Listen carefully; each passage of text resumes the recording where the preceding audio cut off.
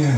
At mga kababayan, isang karangalan ang uh, mapapamahan ako ni ng ating susunod na Pangulo na pangalang Bong. Pero ganun pa man, hindi po tayo magkakamali sa kanya. Dati siyang gobernador ng lalawigan ng Ilocos Norte, dating congressman, dating senador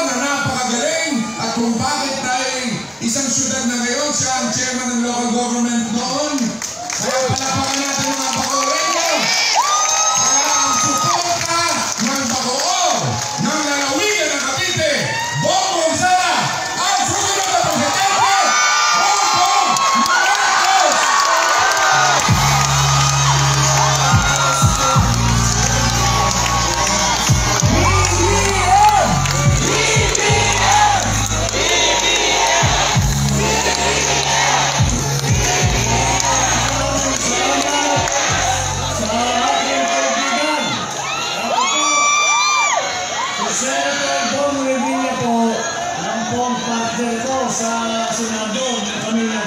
nagkasabay. At marami po kami nagawa, marami po kami napag-usapan, marami rin po akong natutunan sa kanya dahil nauna siya sa akin sa Senado, bilang Senador. Kaya naman ay mahigpit ang aming pagsasama. Kaya maraming maraming salamat sa Bong sa inyong na! BBM!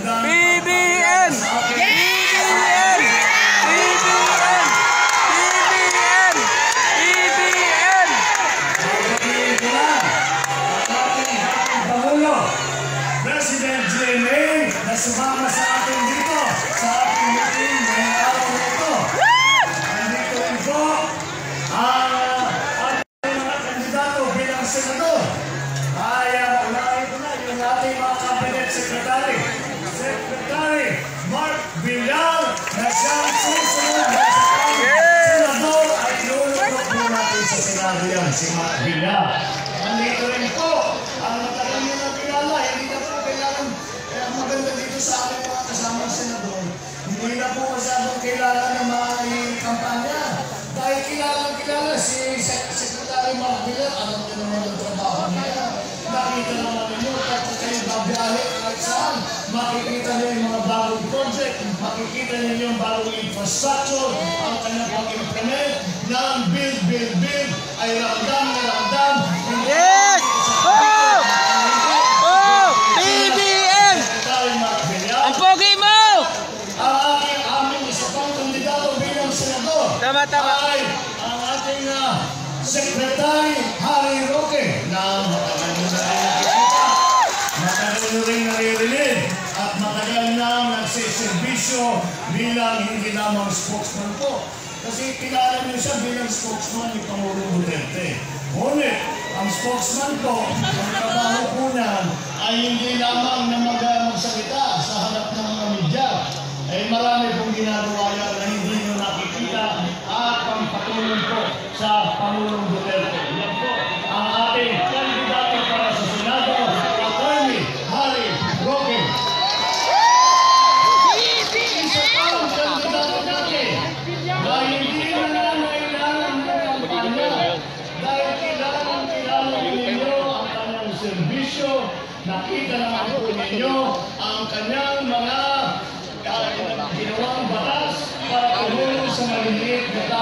Ito po ang aming kandidato babalik sa Senado, Jinggoy Estrada.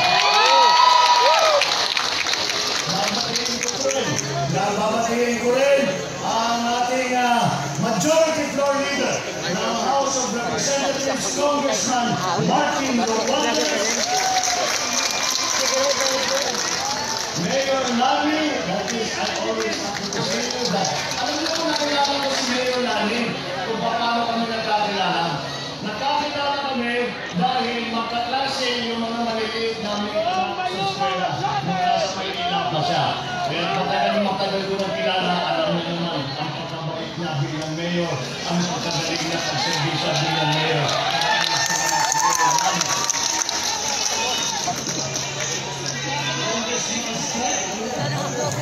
Si Congressman Strike Revilla.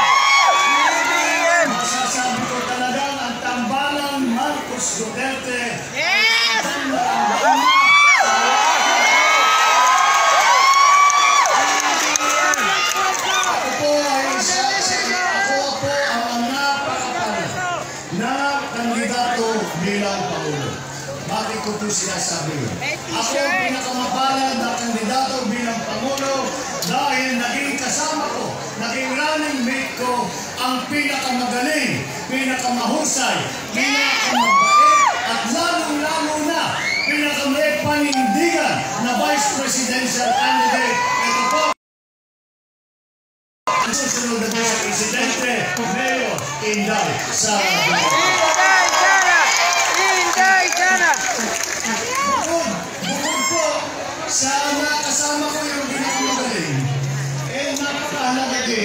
na kami po na na kami magkasundo sa aming pananaw, sa aming mga pag-iisip tungkol sa pangangailangan ng ating bansa dito sa gitna ng pandemya. Kaya po nung nag-uusap kami, hindi pa kami nakapag-decide kung ano yung gagawin namin, eh nag-uusap ka pa, nag-uusap pa kami. At sinasabi nga niya, ano ba talaga dapat gawin dito? Eh ikaw po, wala tayong, tingnan natin ang tingnan natin ang kasaysayan ng ating bansa. Sa lahat ng krisis na hinarap ng Pilipinas, tayo po ay nakaraos lamang dahil ang mga Pilipino ay nagkaisa, ang mga Pilipino ay nagpunan, ang Pilipino ay nakabayanihan, lumabas na naman po ang ugali.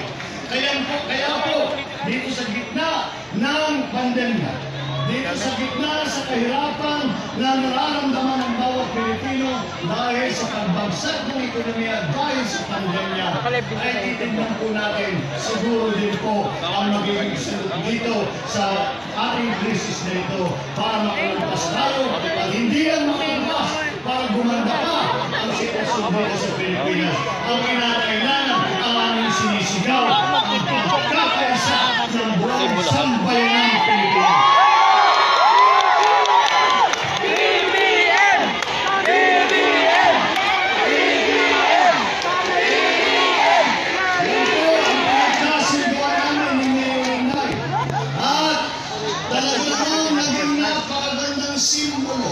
aming pagsasama. Nakikita ko lang sa TV, sumalapitan na, oh. Ang tiga Ilocos at ang Davao na nanggagaling sa magkabilang sulok ng Pilipinas ay maaaring magsama siguro naman lahat ng Pilipino maaari natin sama-sama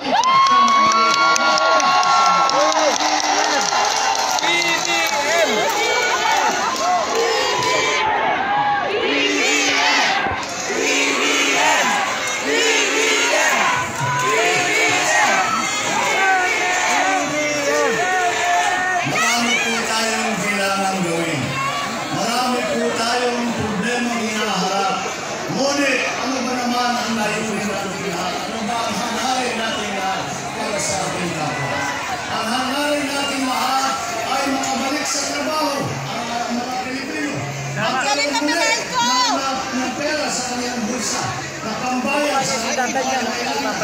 Na kahit pa paano, hindi lamang makaramdam ng kaunting ginhawa muli sa kanilang buhay. Ngunit, meron pa rin, meron pa na pag-asa na magandang kinakakasan. Yan ang. Ating hangarin, yun po ang ating idudulot sa ating mga kababayan para tayo ay naging matagumpay, hindi lamang po sa darating na halaman, kung hindi po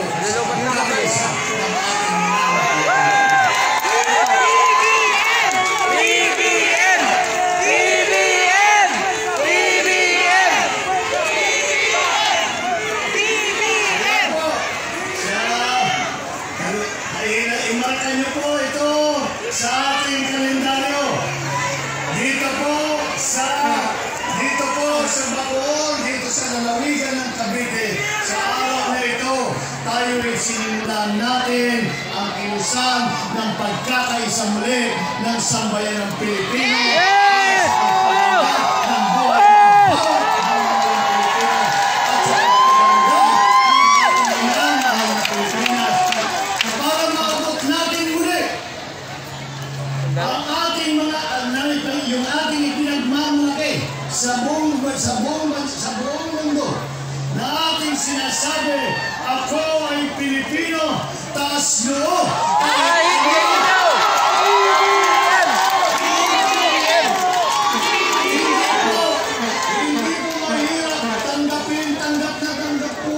Yan! Tama! Bakit naman po? Hindi kata-kata. Dahil tutusin natin, kung ano nga, ang nasa ugali ng Pilipino ang maging mabait, nasa ugali ng Pilipino na maging matulungin, hindi tayo palaway. Tama! Yes,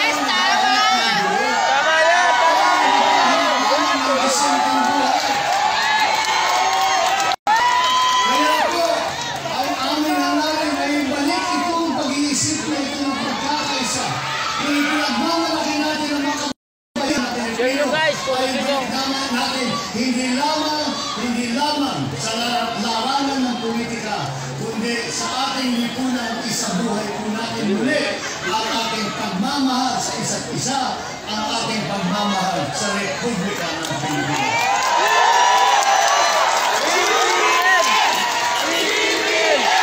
Dito sa araw na ito, dito sa Bacoor, dito sa lalawigan ng Cavite, dito po sa araw na ito, nagsimula ang ating kilusan na pagkakaisa. Sa simula na ito, ipagpatuloy po natin ang ating sinimulan ngayong araw na ito. Ipagpatuloy natin hanggat tayo'y tagumpay, hindi lamang sa halalan, sa darating na, sa darating na taon. Kung hindi, ang mas mahalagang tagumpay ng pagkakaisa muli ng ating mga kababayan at sa ganung paraan, asahan po nito, asahan po ninyo na sama-sama tayong babangon muli. Maraming salamat po.